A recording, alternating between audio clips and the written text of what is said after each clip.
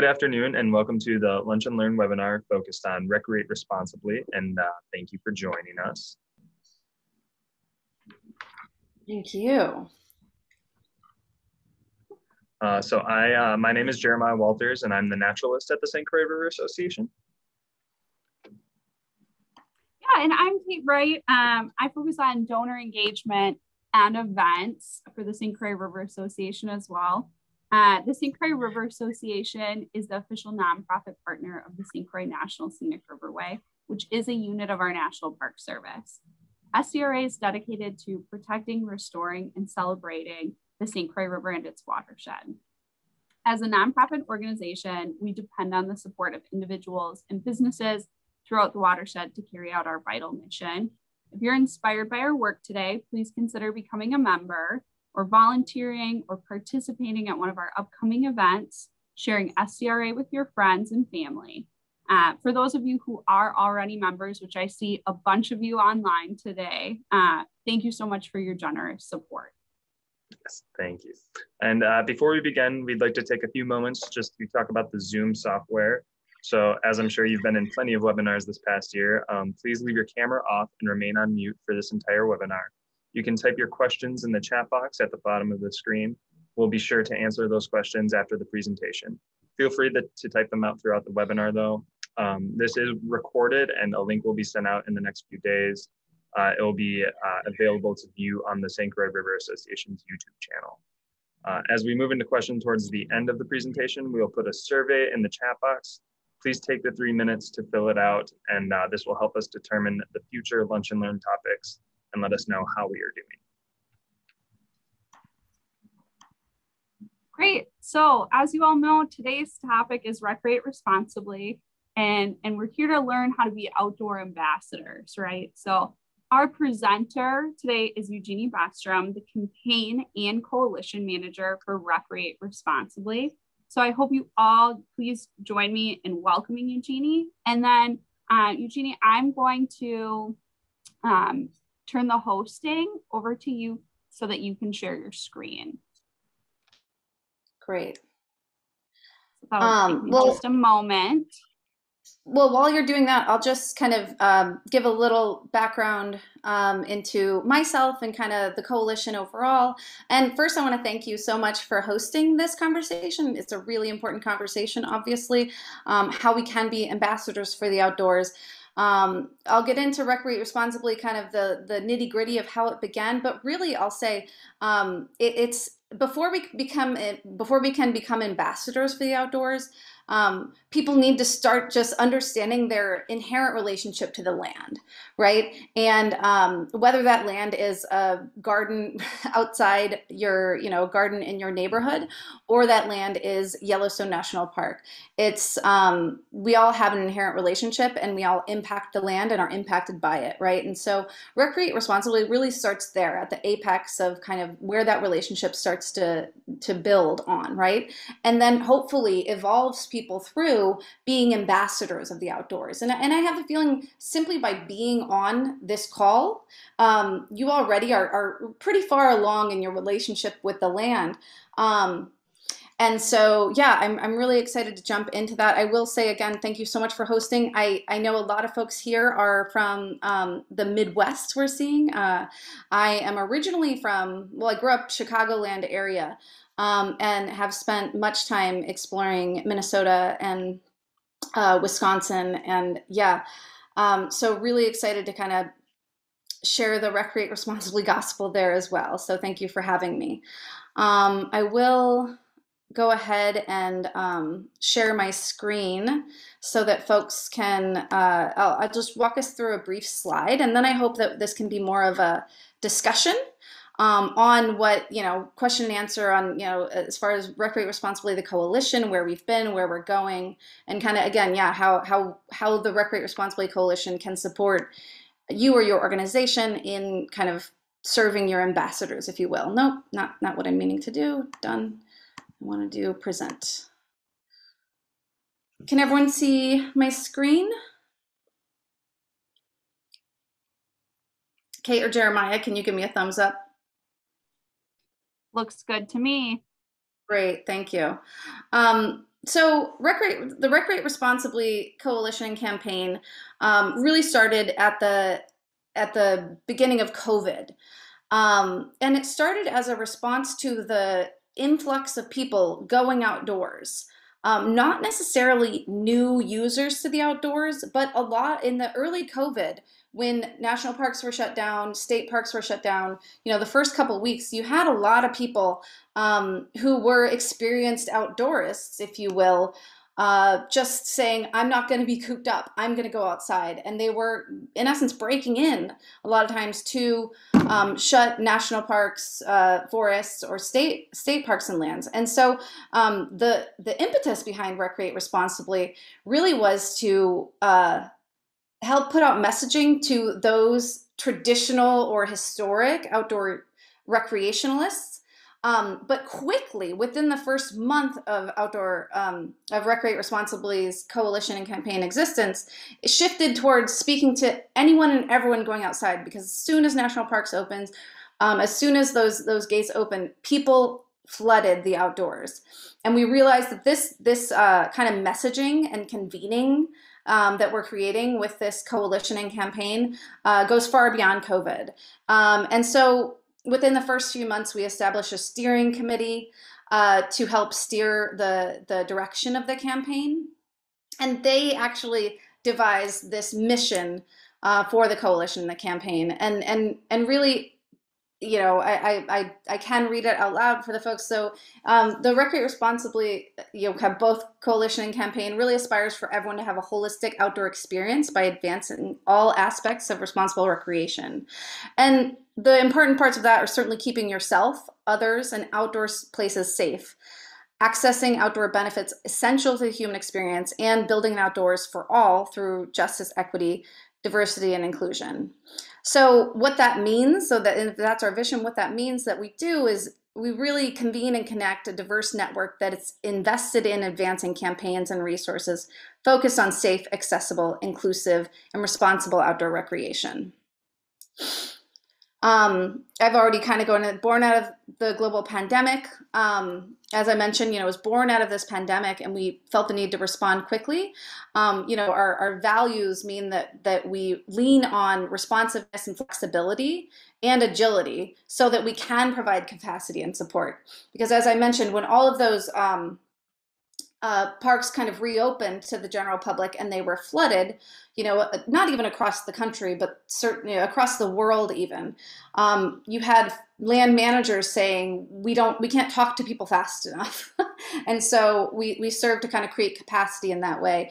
And again, certainly convene and collaborate um, policymakers, industry leaders, folks like that, to ensure consistent messaging um, and ensure transparent messaging as well and and really then to take uh, our membership best practices and share that back out and amplify it. So Recreate Responsibly isn't this new organization that is trying to do something new and snazzy. It's it's a it's a convening of a lot of folks who tried and true and folks that are newly interested in the outdoors to try to again um, create resources for for those ambassadors, right? And so, um, you know, these next slides will kind of take us into the success and the shape of the campaign, if you will. So in, in 20, we saw the success in kind of that shape that we were doing in that, um, you know, within just in 2020 alone, we saw 4 billion social impre impressions in only eight months. And to put that into perspective, we have a, um, a social media influencer uh, and who, who is our strategist as well, uh, volunteers her time. And she says, you know, she's been a quote unquote influencer for mm, five years or so now, and she's never seen, seen an M turn to a B in terms of like from million to billion. And so um, we just saw, you know, just in terms of impressions that that people really care about this issue. So again, it's not it's not about how do we create ambassadors, but how do we harness people's relationship with the land that they are being ambassadors. People care about the land and they care about their relationship with it. With that, we saw 12,740 tool toolkit downloads. Little plug. Um, uh, you know, I'll have this up side, but if you navigate yourself to recreateresponsibly.org, you can download any and all of our social media toolkits. Um, there's a lot of fun little, even Zoom backgrounds in there and stuff. So um, we, you know, a website that we threw up in early COVID, just kind of threw it up real quick to get this message out, had over, you know, 118 page views and was included in Library of Congress's historic collection of internet materials. So we were pretty excited to see that. Um, and then, you know, people were picking it up in the news. We saw 3,118 times in the news with 151 million media impressions. Oh. Um, here's just an example of our um, of the kind of the, the toolkit materials that you can access. Um, the the toolkit was translated in over nine different languages, and we're all, always looking to continue to translate that so that it can provide more access. And and now those really kind of the the campaign in terms of numbers, but as far as the coalition goes, um, we saw you know nearly 12,000 member organizations joined. Um, we actually, most of our, our membership is uh, organizationally based and not necessarily individuals. We do have some individuals, but um, uh, you know, if we have a thousand organizational members, we have 200 individual members. And so, um, yeah, it's really made up of, you know, organizations like the National Park Service, um, brands, small brands, um, and small and, and nonprofits across the world. Um, uh, in 2020, we saw seven state charters pop up, and we have four, I think five now, uh, queued up to launch in 2020. And I'm really excited to dive into that conversation here with. Um, uh, I know Jeremiah and Kate have already spoken with uh, Michigan that did lead, it has been one of the first state charters to be developed, and we may be morphing that into a regional charter, which I'm really excited to see. And one thing that we've seen that's really been exciting um, for like in terms of supporting the coalition on top of the campaign is that we, we've seen attendance to our virtual convenings and engagement via social media or um, or just email is it typically at three times the average rate of attendance and engagement. So again just further proof that this is not something you have to try hard to get people to care about you just get to help help them support them in their caring in their ambassadorship um, and then this last page, which I will leave up or share again or ask Kate and Jeremiah to share, um, is just ways that you can engage with the Recreate Responsibly Coalition. Um, again, as I mentioned, we have uh, state and local regional charters, and, and so we're always um, here to help support growth uh, or kind of local activation, as we call it. Um, here, what I ask if if, any, if folks have a campaign or a collaboration idea, harkening back to originally our values of uh, agility and flexibility, one of the best things about Recreate Responsibly is that that that again we responded to a global pandemic, and so we're in the business of responding to needs, right? And so, for example, our next edition of the Recreate Responsibly guidance will be coming out next month, and that will be our wildfire edition, right? And so, um, you know, if you have a, a, local need, whether it's you know just simply we have some places um, I'm sure anyone can speak to this here. There are places all over the country and certainly the world that are just dealing with trash issues because of the increase of um, visitation outside. And so um, we're thinking of developing just recreate responsibly focused on trash and how to take care of your trash and what you can do and tips around that. So um, really anything, if you have a campaign or collaboration idea, please reach out. Um, we're always excited to expand. Um, and and you know telling your story is an important part of that again one of the the pillars that we rest on is sharing best practices and certainly stories of um, success and kind of connections to the land is important to that um, and then that last piece uh, about the active face mask uh, I, I, will say one of the exciting things about recreate responsibly is the connection between business government i'm going to stop sharing now um, but we'll reshare that. And I'll just say it's that it's that trifecta of business, government, in um, and then kind of like influential voices, right? Um, whether that be, and I would kind of put nonprofit into that pseudo governmental a lot of times, depending on on where that nonprofit sits. But that business angle has been really critical um, to support the sustainability of the coalition. In that businesses have noticed, oh, especially outdoor businesses have noticed, wow, um, this influx of people visiting outside is harming the land, but it might be good for my business if I'm an outdoor brand like REI. Therefore, they've um, by utilizing the messaging, they're trying to kind of uh, though, though business has been good for them, negate the negative impacts on the land or potential potential negative impacts on the land, and um, kind of utilizing their brand influence to help support the coalition and the messaging in the campaign, right? And so REI, for example, which you can click and see um, within that example I showed in the slide, and again, I'll send this out afterwards, um, created a, a, active face mask in which when people purchase it, there's not only information about the Recreate Responsibly Coalition and guidance, but then 10% of the proceeds go to support the sustainability of the coalition. And um, I think most folks on this call are nonprofit based or at least loosely affiliated with nonprofits and so can speak to the importance of um, trying to create a sustainable model so that you can continue to do mission driven work. And so, uh, really, we are looking at more of these like kind of cause marketing partnerships so that we can create.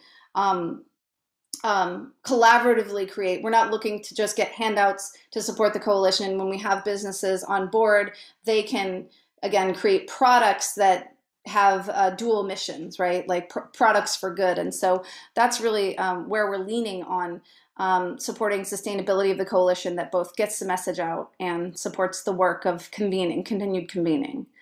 Um, that's kind of that as far as the the kind of brief overview of recreate responsibly.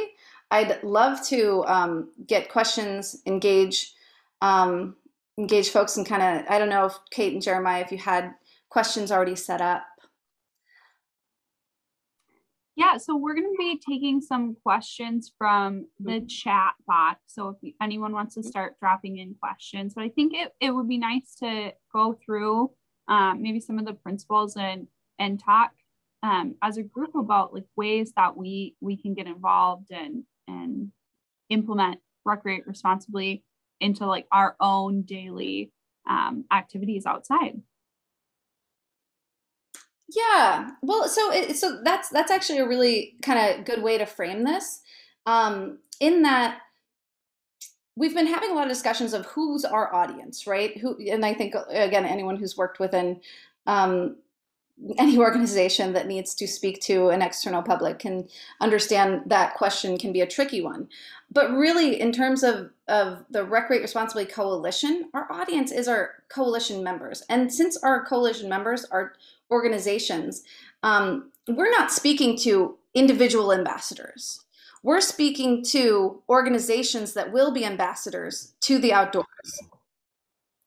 And so, by sharing, thank you for bringing this up, um, Kate, by sharing this toolkit, for example, that has really simple, easily accessible messages to a local nonprofit we hope that then that nonprofit has an easy tool to then share that out to their public, right?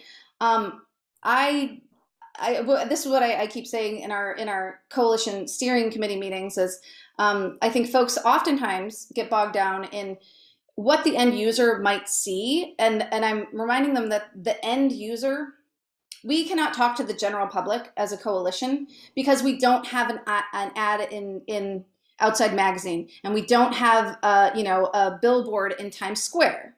So we are not talking to individual users going outside. We are sharing resources for our nonprofit brand managers and agency partners to share with the public prior to arrival um, in the planning process of going outside. And so, again, all of this is kind of morphing and taking shape as we're seeing relevant um, issues arise in the outdoors. And so these, as you can see on the screen, these uh, principles were developed again early COVID.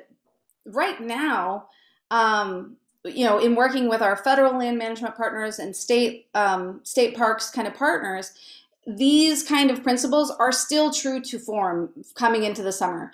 Um, we're, we're shifting the physical distancing a little bit um, to be less focused on on uh, you know six feet because of COVID, but more importantly, in that as we have more people going outside, we need to be respectful of space um, for individuals' sanity and individuals' uh, experience in the outdoors, but also because too many people on the land is it has a negative impact on the land and so when you're on a trail spacing out and the importance of why that's you know why we space out on trails for both you know giving other visitors respect but also um, um, also incorporating wildlife, giving wildlife respect um, and distance as well. And so, though the principles, the kind of the top line principles are staying the same, and we will be continuing to share that out, we're shifting um, away from COVID mandates and into respectful, enduring practices in the outdoors.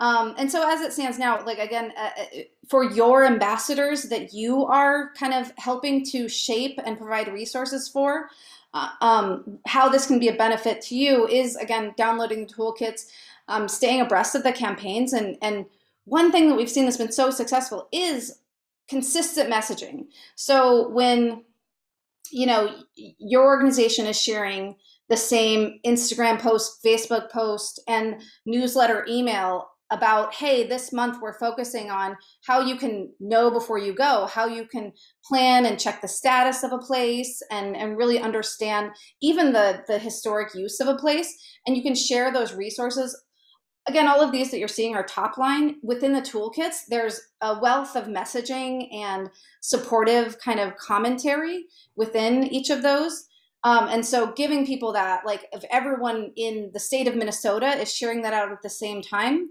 then the, it becomes this cultural milieu.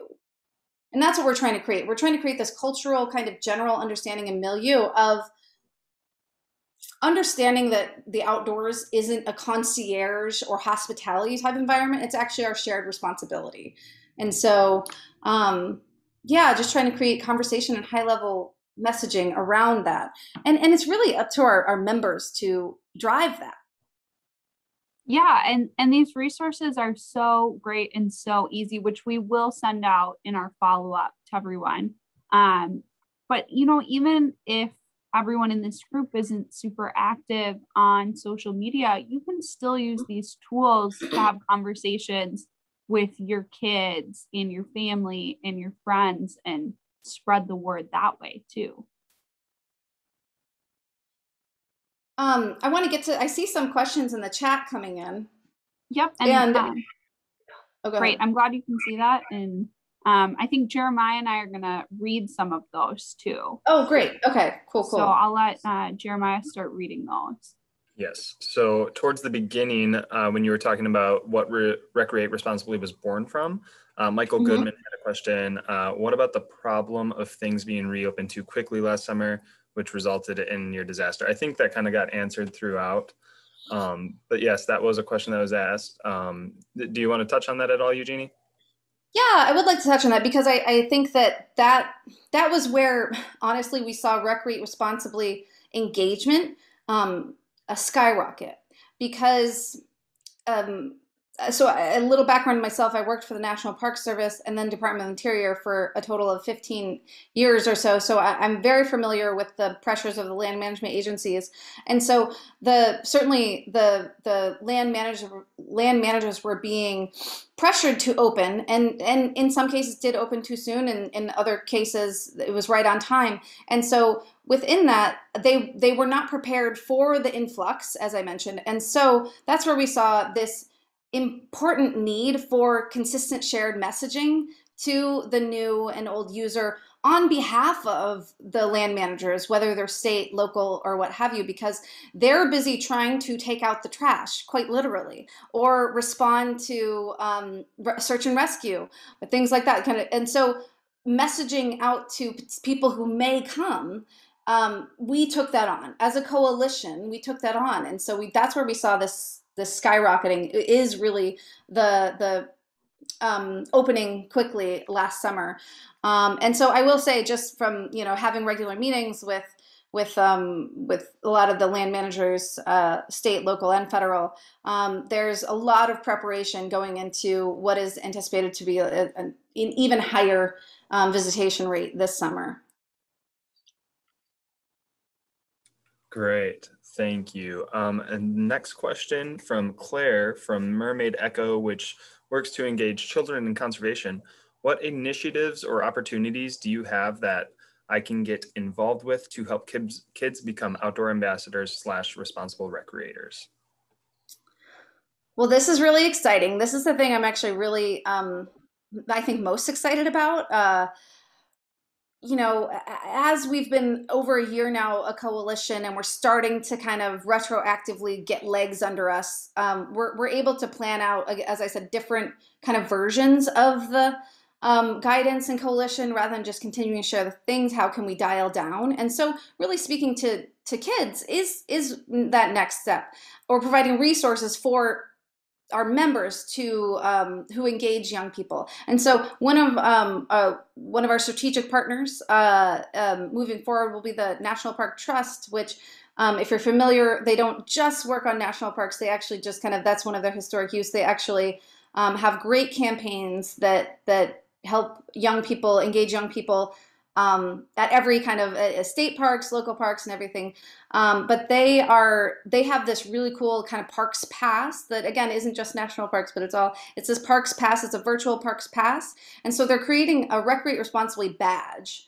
And so, um, uh, but that's all in the process of development. So Claire, if that's something that you'd like to learn more about and know, and actually having like kind of someone on the ground um, provide perspective onto how that would be best utilized or what other things, um, please reach out. I, I, my info will be shared at the end again, I hope in any notes, but um, you can also just email the, the website directly and um, we have staff that is really great and we'll get back to you on that. Um, but things like, uh, you know, a Parks Passport badge. We're also working with the Girl Scouts of America to do a similar badge and things like that. Just kind of um, uh, you know, a lot of parks have junior ranger coloring books and things like that. We also, uh, I'm sure most of you are familiar with the Every Kid in a Park pass as well that goes to fourth graders. And so we are working with the National Park Service and well, Department of Interior rather to weave um, weave kind of some recreate responsibly messaging, top line messaging into that um, Parks Pass that fourth graders get. Well, that sounds pretty awesome. Thank you for that. Um, the next question we have is from Bethany Cox. What is one creative way a nonprofit has shared one or all of these pieces of Recreate Responsibly that sticks in your mind? Um, well, um, I have some really creative ways that I, I would I'd like to share more than nonprofits because we've had some super exciting ways that people have done this, both brands, agencies, and nonprofits. So I will talk about nonprofits and that we have some really cool nonprofits that um, have literally taken and woven recreate responsibly into their mission. Whether that's let me see if I can find um, this website, uh, but you know, there there's a, I think it's the New York Outdoor Coalition. Um, and the New York Outdoor Coalition, basically, if you navigate to their website, they have just a whole section on recreate responsibly. Um, and it, it, sounds like really low hanging fruit for people to just continue to share the messaging. Um, and it almost sounds a little too good to be true because people always think they have to work hard to do something productive. Um, but sometimes it is the easiest thing, and really just incorporating the rec- incorporating the term, even if all you did was put recreate responsibly three times on your website, that would be something that would could change the ethos and really start to shift um, the way your audience starts to think about their relationship with the outdoors, right? And so we've seen creative um, use of of the guidance on websites and in social media. A lot of um, a lot of nonprofits have taken our toolkits and guidance, and actually, we are coming out with um, in this next iteration of toolkits. We're we're creating more modifiable tools. So basically, like an Instagram background, a Twitter background, uh, or or like a, a, newsletter template that you can use in email that incorporates the messaging without you having to do too much work. That you can just um, you know take this tool and then format it to with your branding or what have you. And so again, our nonprofit partners, which is most of our membership, our nonprofit members, we're we're hoping to create resources so that you don't have to be creative. We're trying to be creative so that you can continue to do the good work. But for our brand partners, that's when we're like, get creative, guys. And so um, there's a really cool brand called Island Tribe that is the first kind of non-traditional outdoor brand to join the coalition, and they they do like high-end wedding dresses, boho wedding dresses, but they they have sustainability in their mission, and they got really excited about the coalition and joined. And so they actually have. Um, speaking of creative resources, they have this. Um, um, channel. There's this channel, a new channel. It's a social media um, site called Talk Shop Live. That's basically like QVC on your phone for folks who remember QVC. And a brand will, you know, purchase a spot on on this channel, on this streaming channel, and then they'll basically have a show where they talk about their products. This brand, Island Tribe, used an entire hour to talk about recreate responsibly rather than sell their products they were really selling selling the concept of rec- of sustainable conscious consumerism and responsible recreation within that. So we're again leaning on our our brand partners who have more capacity to get creative with the sharing and we're hoping that our our nonprofit partners um, will share in whatever way they have capacity for. And if they i mean some of our larger nonprofit partners uh, national park foundation for example right before I came onto this, they hosted a Twitter Spaces conversation on Recreate Responsibly. Twitter Spaces is basically Clubhouse, um, if folks are familiar with that. So it was this opportunity to have kind of audio uh, audio conversation on Twitter, specifically dialing down to the Recreate Responsibly principles. And so we do have our larger nonprofit partners that are, are coming up with creative ways of, of doing things like that. Um, the National Park Foundation also created all these um, cool posters for Recreate Responsibly. You may have seen them. They're kind of harkening back to the um, the WPA posters, and uh, you know they're they're they're showing you how far it is between six feet between one another by having a bear or an elk or something. Some pretty pretty cool stuff. So there are ways to get creative for sure. Awesome. Yes, those ones that you listed out towards the end were, are very. I, have seen those, and they're a lot of fun to look at. Like, how many salmon does it take to be at six feet apart? It's really fun. Um, yeah, I love those. Yes. Our next question comes from Sophia Patain. Uh, how were the original principles of Recreate Responsibly chosen and developed? Who was part of that initial conversation? Ah, so the first two organizations that came together and said, hey, we should say something because people are breaking into parks and um, and it's unsafe. Uh, it was the Outdoor Alliance and REI and REI Foundation. From that, those two who have a wealth of kind of partners in the outdoor industry invited other interested parties: the North Face National Park Service, National Park Foundation, um, the U.S. Forest Service. Uh, uh, rec.gov. If any of you have been to recreation.gov to book yourself a site, you're familiar with that. That represents all campsites and kind of permitting processes throughout the federal land management agencies and even some states. Um, and so uh, those were kind of those were the heavy hitters early on. I think the first yeah two brands were North Face, and then some larger nonprofit partners like Outdoor Afro. Um, again, Outdoor Alliance uh, is a is a was the found one of the founding partners, and um, the the the record the ch- principles were chosen through a series of com- of, of meetings and convenings. I think it was um, they met once a week. So I came on FYI a, a, month after the coalition was formed, and so I wasn't a part of those first kind of decisions of the the principles. But I do believe that those uh, parties that I mentioned met once a week and just kind of said you know, how can we build on, how do we build on leave no trace ethics? Which, as you'll, as I'm sure you're familiar with, which we can show again, leave no trace is one of the principles. How do we build on these leave no trace ethics to include kind of pre-visitation concepts and and just kind of like early on concepts how do we introduce people at a very accessible level to um, concepts of leave no trace and two concepts of kind of shared responsibility and environment. Again if this is all about like our relationship with the outdoors it was it was just about like kind of throwing things on the board and seeing what stuck in those initial meetings and, and that's kind of what happened. I think people threw that out they saw what resonated and just kind of boiled it down to these are the points that resonate with people and that that we think then speak to um, a healthy and um, a healthy relationship with the outdoors.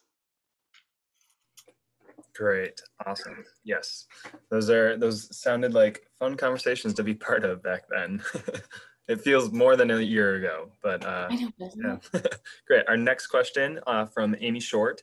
Can you talk about the river focused program tools and experiences where many entry points and types of users uh, from kayaks to weekend party boats, and also suggestions for how member organizations have reached to those who may not be part of the usual points of communication about responsible land and water use. So I see two very distinct questions in there. I'm going to answer the river or um, uh, just water focused one at that. So again, just in the same way we're creating a wildfire edition of the guidance, um, we have been working concurrently with um, NOAA, the National Oceanic Atmospheric Administration's National Marine Sanctuaries Division. So um, obviously focused on water. Also, the Army Corps of Engineers manages a lot of our waterways um, and water recreation sites as well. Um, so taking those two kind of two federal entities and then pairing them with um, organizations like American Rivers and American Whitewater um, at the national level to again they all have their best practices right? But how can we kind of create cohesive think cohesive messaging throughout those best practices and share collectively? So we're taking those top line messages from each of those kind of entities sharing top line messaging. And we will have uh, river and water focused uh, guidelines coming out in the next few months, I hope. but certainly in anticipation for summer.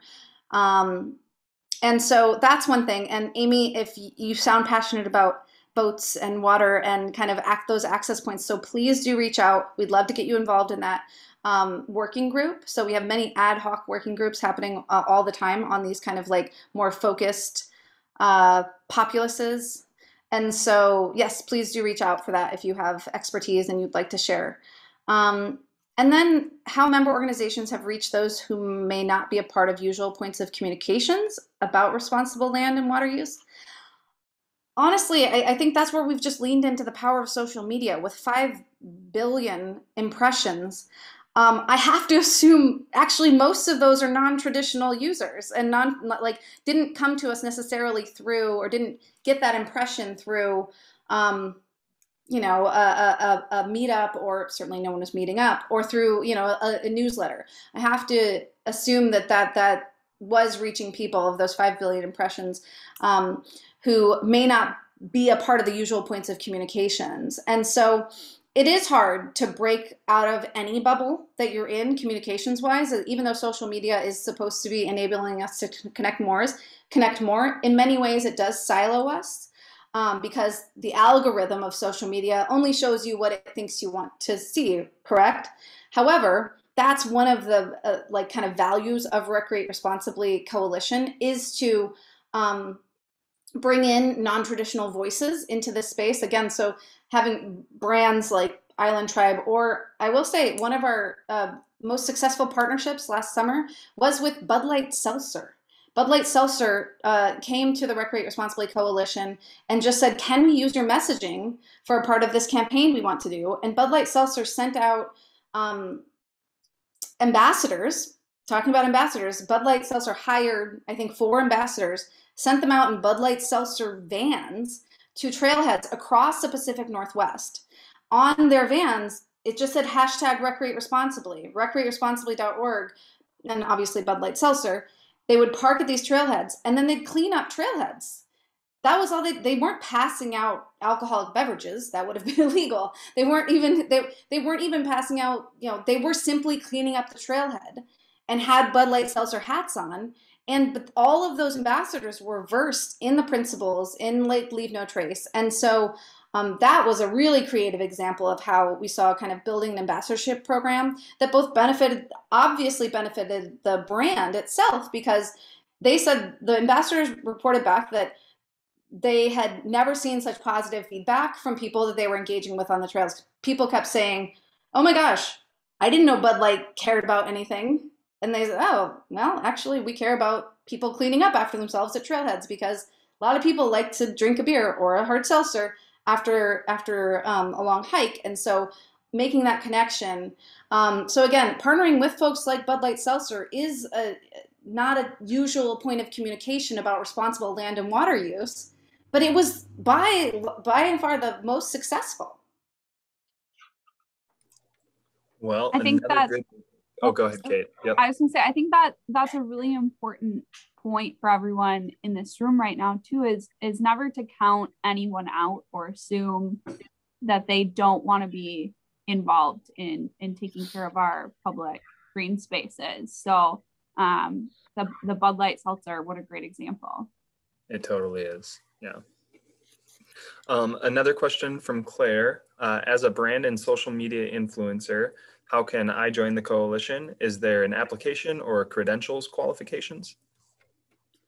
No, and I will say so. I'm so excited about this question because um, it kind of is in concert with um, our our our kind of strategist, our social media strategist, um, Katie Boué, uh, who's who's an outdoor influencer, um, just tweeted today about how um, how it's the the out like caring for the outdoors is the least exclusive club you can ever join if you care for the outdoors, you care for the outdoors. There's no qualification necessary to care for the outdoors. And so um, we only ask that you start caring and start sharing that you're caring, right? That's part of the coalition. And so certainly we're, we're sticking to that um, within Recreate Responsibly. I will say we are starting to build out a membership structure and what membership look, looks like because I think uh, Claire, to your question, it is it's a little strange just be like, how do I join? I just sign up. That seems a little fishy. Again, we're retroactively building structure around this thing that grew so fast. We didn't expect, um, we couldn't have expected it, and so um, everyone who goes to the website today and joins, you're just a member. You get access to the toolkits. You get um, access to newsletters, and and if you're interested in joining, like and participating and you can contribute to actual coalition work helping to shape the the campaigns and such um, then all you have to do is email and ask and we'll get you plugged in we, that said we are probably in the next month or two creating more of a membership structure where it will be clear on the website that you can join as an active member and that will be a slight dues or commitment to um, to work to uh, contributing to the um, kind of uh, committee work. Because like i said there's literally hundreds of committees going on uh, committee meetings going on at the same time. And so um, you know we want to give space for people who have capacity to contribute their expertise like you claire and your um, influencer um, kind of body body of work and so we want to create space for people who have that capacity and also space for people who might not have the capacity to contribute to conversations because they're busy doing their job, but might have the financial resources to support that work. So, creating more of an activated membership that outlines that. Still, hopefully, really entry level, like anywhere between $1 and $1,000 is what we're looking at for more of an activated membership. That's not finalized yet. Um, however, still creating space for anyone who wants to be an ambassador. What we're calling general membership is, is, is basically an ambassadorship moving forward in the next structure, access to the toolkit will remain to be free. All you have to do is put in your email, you'll get a toolkit, and then you'll you can have continued access to updates to toolkits, right? And so ambassadorship always free. We're just calling it general membership, but it's ambassadorship. And then we again next level more of an activated membership opportunity, right? So go to the website, plug in your email. We'd love to have you on board, and then um, I'll also share my personal email as well at the end of this. So if anyone wants to reach out to me directly and remind me of this conversation so we can get you plugged in sooner, please, um, I will I will pop that in the chat towards the end. Great, that's awesome. Thank you for that, Eugenie. Um, another question uh, from Katie Stickman. More often than not, I have been seeing disposable masks on the trail at trailheads. Does Recreate responsibly plan on addressing this or continue lumping it in with general trash cleanup? Oh, I, I love this group. I love I love questions. So I, I, I as I mentioned, I just did a, a, like that Twitter chat thing, and there were no questions from the group, which is so much harder because I'm like, well, what do you want to know? I love the questions from this group because you're you're asking the things that I'm excited about. So um, one of we have a couple steering committee members um, for the national coalition that are really excited to kind of marry the idea, um, like all of these amazing artists in the outdoors, and how do we utilize art? And historically, the outdoors and art have always been tied together, um, especially when it comes to policy. Um, I'm getting a little outdoor wonky and geeky here, but the the national parks wouldn't be possible if it wasn't for painter Thomas Moran, right? And so, like, uh, uh, folks don't know the history of Yellowstone National Park. Um, John Muir kept coming back to Congress and saying, "There's these beautiful places out here," and lots of people said, "We need to protect them. We need to preserve them." Congress said, "Meh," and then then they brought a painter out there to paint the landscapes and then bring it back to Congress and say, look at this. This is amazing. Let's preserve it. So, art and the outdoors and policy and preservation for the outdoors have always been inextricably linked. Again, harkening back to those WPA posters that the that the Park Service and the National Park Foundation have been putting out that people get really excited about. That said, we have some exciting ideas to collaborate with art artists um, to come up with innovative ideas to share specific messaging around this specific topic around like look we have all these whether it's doing uh, who knows if someone's going to do installation art piece or create a cartoon i have no idea. I am not a visual artist. I just appreciate it. Um, and so we are trying to work with artists to come up with creative solutions and innovative ideas to help specifically uh, this specific mask issue with I, I totally agree. I, i've I have seen more masks than any other like specific piece of garbage out in the outdoors and on trails. So yeah, it's definitely an issue, and and we're trying to get creative around the addressing of it. Awesome. Yes, great question. Uh, so another question, or a question from Melissa Wallace. Um, a lot of a lot more people have adopted pets during the pandemic, and they take them hiking and camping. Some of these pet owners aren't very responsible about picking up their dog species. Is your organization doing anything to educate dog owners about how to recreate responsibly with their pets? Again, an opportunity for more nuanced things that that we're working on. We are we honestly to do this work because it's a volunteer coalition. We would hope that we would have a leading organization like I don't know if Chewy.com I, I could if we could reach out to chewy.com to help us spread that message because again most people right now within the coalition most of our membership speaks to people who do carry bags and who do care about them so in order to speak to that new audience we would be we would and to have that be successful we hope to bring in a partner that already has that audience right and so a chewy.com a paw.com what have you barkbox um, looking at reaching out or hopefully ha- having them come to us or what have you um, will be a more successful part of that campaign.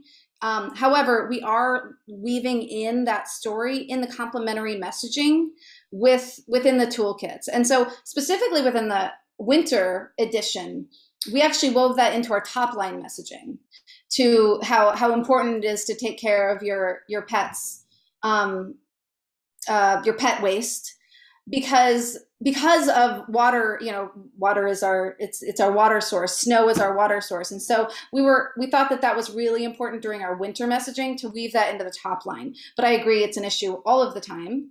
Um, but there's so much that we need to say. We need to be careful about where we put the top line messaging and we need to be strategic about where we put that complementary messaging. And again hoping we can find like a you know a partner like a chewy.com to speak to an audience that we don't yet have would be ideal for that messaging.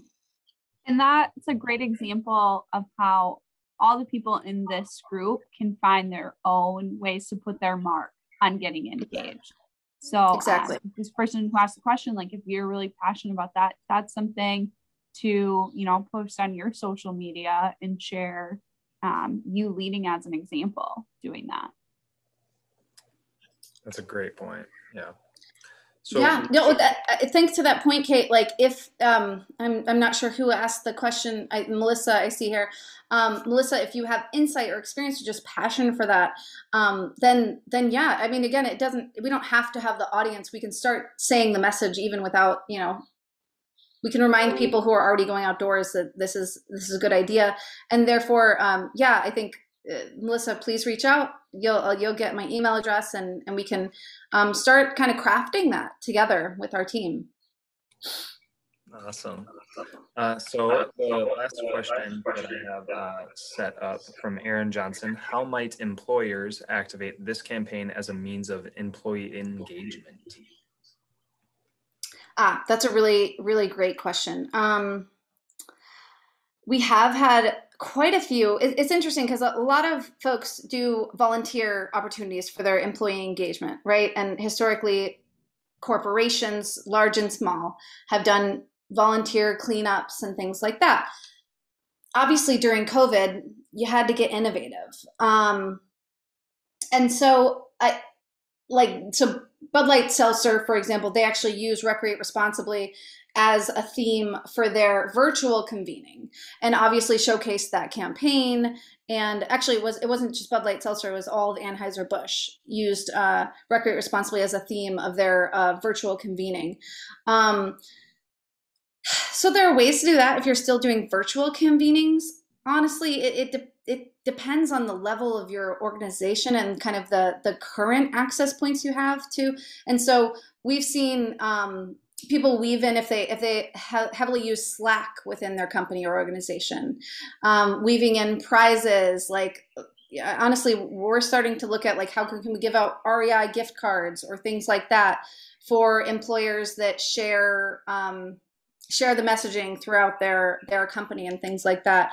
So um, there's some creative ways to do it. I, I think a lot of people have been like have not known how to engage their employees without volunteer events. Though I do think we're going to start moving into more volunteer events again, and certainly simply hosting a cleanup, um, or or I think more importantly than doing a cleanup with employer employees, um, hosting kind of an ambassador campaign or opportunity, whether that's like posting recreate responsibly principles or guidance at trailheads if if you're allowed to of course or sharing you know sharing it otherwise in some other creative ways.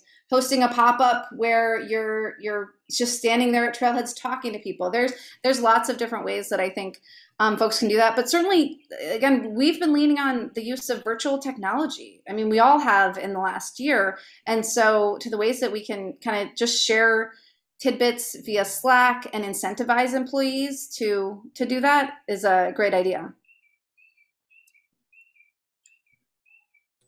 So that is, so that is questions. Um, if we have any more, please feel free to uh, either send those in the chat right now or email us. Or as Eugenie mentioned, mentioned uh, she will be sharing her email, so you could uh, go right to the source with those questions.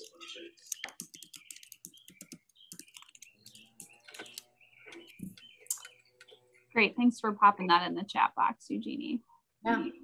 Um, I've really enjoyed the. You know, it's funny. I I I I, t- I tend to feed off of like the Zoom where people are talking, but I love how how um, efficiently and engaged.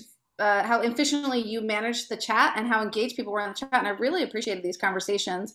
This is where we're going to be successful in having cohesive and impactful messaging for everyone is by having these conversations and sharing this. Like we um having having honestly me having the access to you so that you can tell me what's important is far more important than me coming here and sharing what we what we do and what our plan is because our plan is nothing without you guys who are on the ground actually um, working with the land working with the people who are accessing the land. So um, i can't thank Kate and Jeremiah enough for having me here and for you guys for showing up and being here um, and asking these really great questions. And I hope emailing me with ideas and joining the coalition.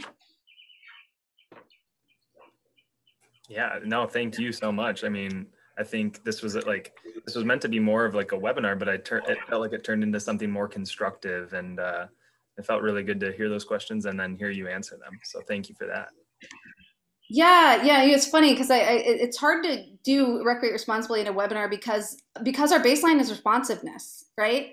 We we were we are a response to a global pandemic. Therefore, I think we'll continue to be a responsive body that serves this that wants to serve. So, um, I think I had one last. Uh, oh, I did want to say I did want to plug. Uh, since you, I, don't know exactly where Kate and Jeremiah are at with conversations about a regional chapter of Recreate Responsibly, but I think that is in the works still. Um, and and so it, not only do I hope you you know join uh, the coalition, the national coalition, but then I hope you'll stay tuned for the localized developments. We, we think it's really important, especially, um, you know, again, this summer increased use, and then from here on out, having having uh, relevant resources. And so being able to connect locally because of obviously the impacts of the ecosystem and the cultural relevant points is going to be um, crucial. So please stay tuned for that. Um, and thank you again, Kate and Jeremiah, for your leadership, not only here today, but in that um, effort. Well, thank you so much. Yeah, thank you. Great. Well, it is just about one o'clock. Um, I'll check the chat one more time. Uh, we got a we got a thank you, so that's pretty awesome. But I'm not seeing any more questions, so Awesome. Well, I hope everyone can kind of join us in, in thanking Eugenie for her time today and for the efforts of Recreate Responsibly. Um, so we've been just honored to have you on today, and um, we have been recording this. And so um, when we do send up our send out our follow up tomorrow, we will send the resources we've been talking about and showing today, um, as well as some contact information and the website and different things so that you all will be able to um, explore all of those tools on your own. And then um, if you're interested in learning more about SCRA's upcoming events, including our spring gathering, um, please visit our website, which is St. Croix River Association.org. And we'll also send a link to that in that follow-up email.